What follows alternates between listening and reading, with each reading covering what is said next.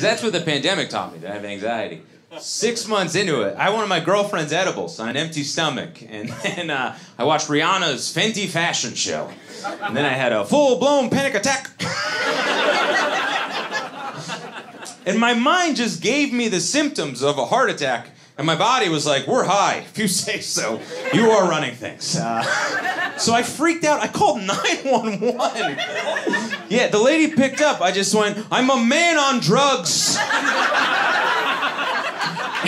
and I was so high. She goes, okay, what kind? And I went, an Italian man. I don't understand. She was like, no, what kind of drugs, you idiot?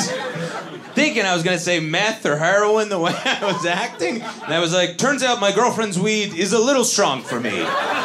She's like, you're not a man or on drugs. Uh, you don't sound Italian, young lady. But when you call 911, the paramedics have to show up.